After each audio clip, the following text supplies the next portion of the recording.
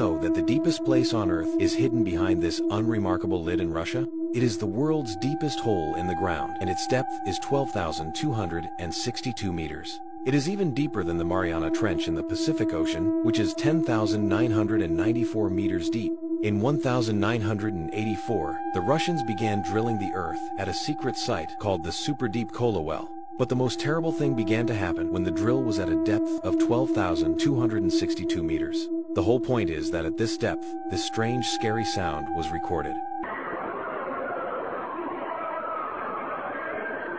And many believe that Russian geologists literally drilled the Earth to hell. According to official data, drilling was stopped allegedly because of the breakage of the drill at a depth of 12 kilometers. But according to unofficial data geologists are very frightened of the fact that they got to hell. The most interesting thing is that the same sound was recorded recently in this place that resembles a passage to hell. This place is located in the United States, on the site of the city of Centralia, which has been engulfed by an underground fire since 1962nd year.